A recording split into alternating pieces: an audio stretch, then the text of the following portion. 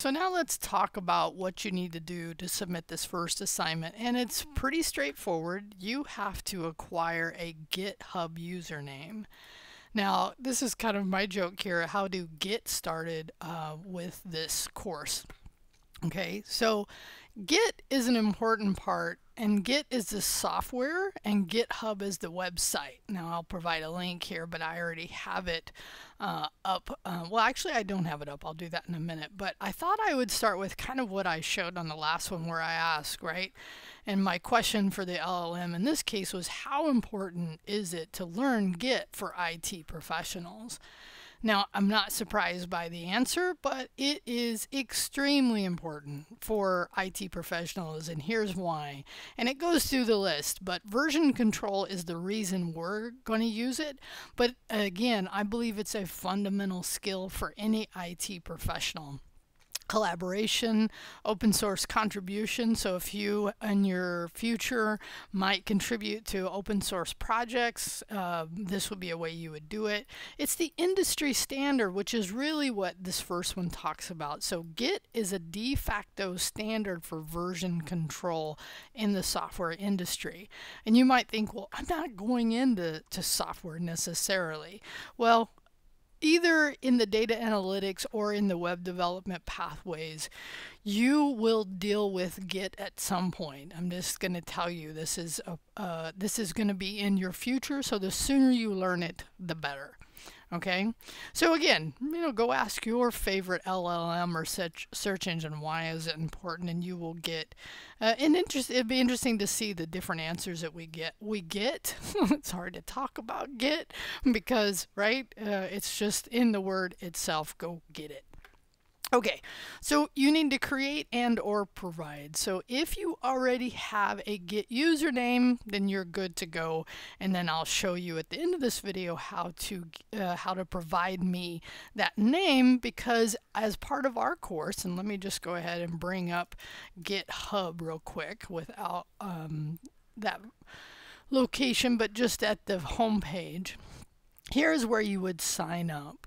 So Git is uh, a free uh, service that's provided. And so I say that because when during the sign up, if for some reason you see a um, you know pay for professional level account, do not do that. It is a free, completely free account, and uh, so you provide it. You can you don't have to use your campus email. You can use some other email.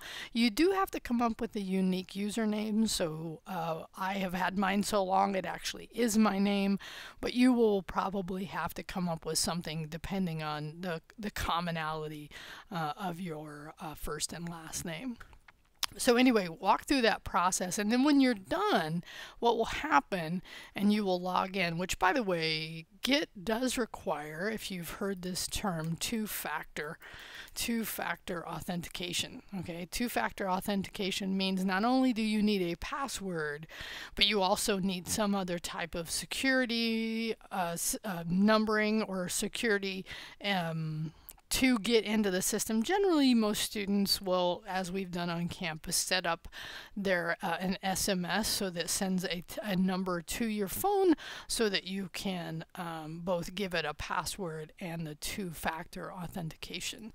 Okay, so do that process. And then I was showing you here, then log in. And when you log in, you will be placed into your your particular uh, corner of GitHub. Now, this is where you may over time develop uh, various repos. Repos are basically what you can think of if you don't have any experience with Git or GitHub. It's basically a folder um, that allows you to place all your code in a related uh, folder structure. For us, by the way, this username is what you're going to provide me in a in a at the end of this assignment.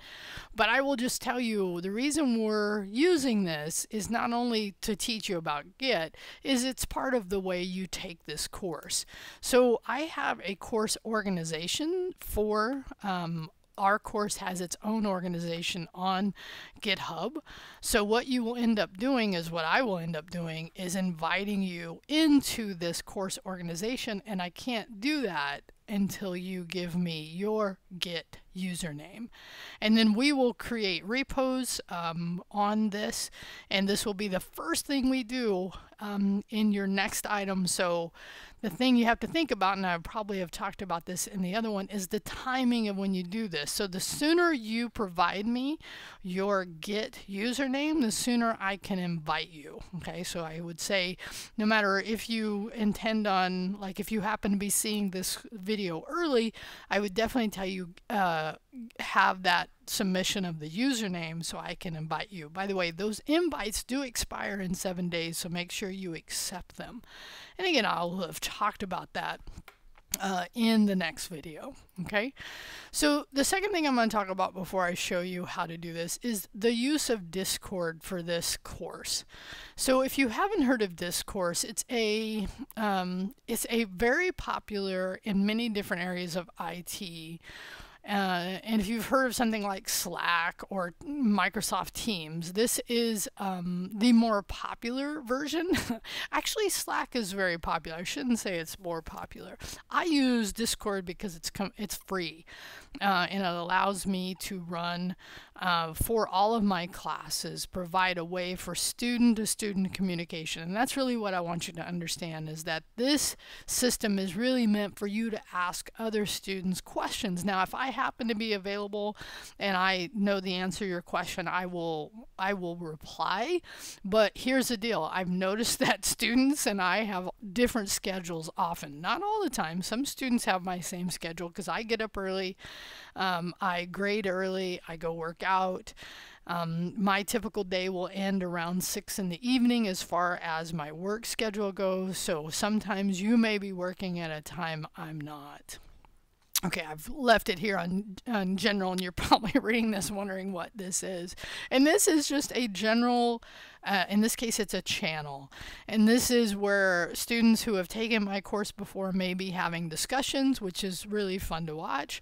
Uh, I've taught Python before, so that is a channel. JavaScript is, uh, of course, one of the classes I teach. Just if you had a Fresno City College question, you might, or cybersecurity, because I've also taught in that area. But below here are what we call the private channels. And this is where we have a private channel for just you and your fellow students, meaning these channels up here could be for anybody on the server, and these channels are only, and in this case, this channel that I'm talking about for this course is only meant for you and your classmates, okay? So what you will do is if, you now, this is not required by any means, okay? Um, if you want to connect with me directly, do it through the inbox because I don't do direct messages on Discord for a variety of reasons, mostly campus related. So just know that it's a student to student communication. And when you want to talk to me, you know, or either come see me, contact me through the inbox through Canvas. But uh, Discord is really not meant for that. So if you do accept, here's the invite to join the server. Once you get on, you'll be put into the general I definitely, at the very top of general, I do, and I actually have a code of conduct channel as well because, and both of them have uh, this link at the very top that talks about that there's a code of conduct for our server. And I want you to understand that coming into it because everybody is agreed that we have a code that we are conducting ourselves within that code. And I'm adopting the one from Python because Python is a very solid community who has developed these standards that allows us to say, you know, we adopt this. And if you want to read it, which I highly recommend before you get into the server, uh, is to understand the behaviors by which we all agree uh, that we do, like no inappropriate images or languages. Uh, anyway, stuff like that. So check that out. Then once you, if you have joined and you want to be added into the channel, then you can in general just say, you know, hey Rio, could you add me? uh, I'd like to be added into, in this case, let's say CIT 28. Now, you may be taking some of my other courses, so you could ask me, hey, I'm taking this and this course. Could you add me into those channels as well? Okay, so that's Discord, the code of conduct. I've talked about GitHub. So let's just talk about now the last thing you need to do to actually complete this item. So like I said before, here, if you just go to GitHub, once you sign in, you will see, uh, you know, your particular name on GitHub. So all I need is that name, okay? So what you would do, once you have it, let me go here, is you're going to actually submit this assignment. Now let me change this because I'm not viewing it as a student, just so you can see what that looks like. Okay, so now here, what you would do is you would say start the assignment. Okay, I'd already done this, so uh, no. Okay, I'm going to show it from the beginning. Okay. There we go. So what will happen is this text box will come avail come up and then what you would do is just type in your GitHub username and then hit submit. And then remember that there is a there could be a lag between when you ask me to or uh, when you get the invite. Uh, you will need it right away in week one. So the sooner you do this step the better because the next item and let's just say I go ahead and submit that item the next item is week one uh, attendance, and I'm going to step back here for a minute just to show you. Because you could go next here, and it would talk about uh, then your week one attendance, and this is what you uh, will be doing next. And in order to do this work, you have to have given me that username, and you have to accepted the invite, which I will talk about in the beginning of this one. Okay, I'm glad you're here. Uh, I hope this gives you a good start. I look to connecting with you and uh, time to get started. Have a great semester. Bye.